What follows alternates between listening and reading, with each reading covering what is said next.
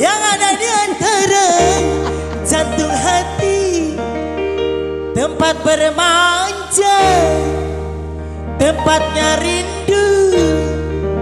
tempat curahan hati yang